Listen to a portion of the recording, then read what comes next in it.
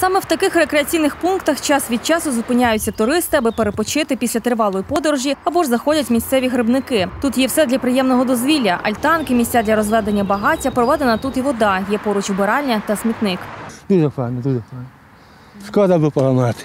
Пообідали тут, як має бути. Подбали про те, аби відпочивальникам було комфортно лісівники. Всього на території Берегівського лісгоспу сім рекреаційних пунктів. Цей почали будувати ще у 2016-му. що почався цей рекреаційний пункт, тут ставали по одну машину. Потім ми побудували ще одну бесідку. Цього було замало. І потім вже побудували цю велику для того, щоб вже е, зупинялися автобуси, щоб було більше людям місця для того, щоб е, відпочити і перекусити.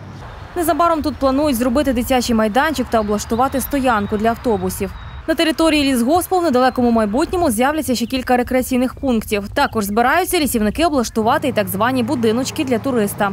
Є на сьогоднішній день будинки відпочинку у лісі, яких попробуємо встановити, е, відремонтувати і давати людям, щоб вони могли відпочивати у будь-який час, зимою, літком. Більш розвинути туристичний, як кажуть, уже і бізнес для лісгоспа. Для лісгоспа, бо це теж плануємо якісь брати кошти вже у будущому.